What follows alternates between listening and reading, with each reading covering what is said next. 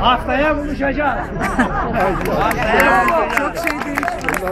Çadır kuracağız çadır. Ve, ve Türkiye'ye adalet gelinceye kadar buluşacağız. Bütün ama bir, ama bir dakika bir bitiriyorum. Bugün mikrofon yok, sıkıntılıyız. İnsanları daha fazla. Telefonsuz tabi olmuyor. Çünkü bundan sonra da işimiz var insanların izniyle. Telefonsuz tabi olmuyor. Bütün başımıza gelenlerin temel sebebi bana dokunmayan yılan bin yaşasın. Evet. Eğer Türkiye'de bu yıkılmazsa bu anlayış hiçbir şekilde adalet bu memlekete gelmez. Ve biz de boğuşuruz. İnsanlar boşu boşuna hapis yatarlar. Onun için Türkiye'ye adalet gelinceye kadar bunun kavgasını vereceğiz. Bundan hiç şüphe olmasın. Hiç kimse şüphe etmesin. Biz bana neci bir toplumuz. Bu süreci Allah dayanışmayı öğrenmemiz için bize Evet, yapıyor. evet. Bu Bunu daha süreçten hepimizin alması gereken dersler Evet, var. bu- Biz bana ne, bana değmeyen yılan bin yıl yaşasın diyen bir toplum. Evet, Evet, yaşamaz. Bir araya Öğrencilerin öğreniyoruz.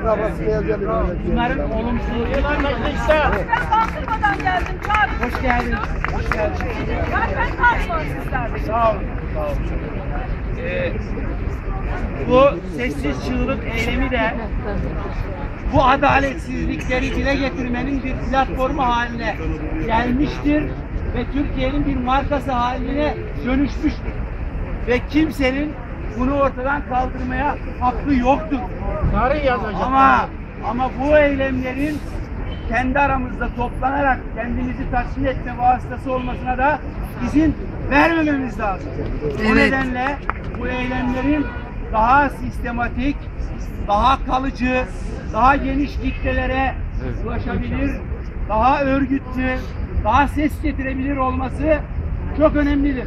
Bakın Bakın demokrasiyi ve cumhuriyeti savunuyorum diyen Cumhuriyet Gazetesi belki 10 haftadır bu sesi çığlık eylemlerini haber bile yapmıyor.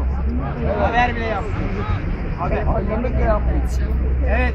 Geçen hafta aydınlık da yapmadı buradaki Yapmadı. haber. Onları eleştirdim. Yani şunu söylemek istiyorum. Biz bir ses çıkartıyorsak bu sesi bütün topluma duyurmamız gerekiyor. Onun için örgütlenmeliyiz. Onun için mücadele etmeliyiz. İşte bugün bu toplantıdan sonra gönüllü insanlarla bu eylemin geleceği konusunda daha etkin yapılması ve yürütülmesi konusunda fikir alışverişinde bulunacağız. Hemen sorayım.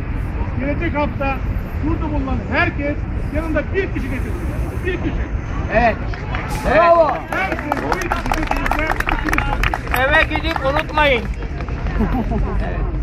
O nedenle e, şunu bir daha belirtmek istiyorum.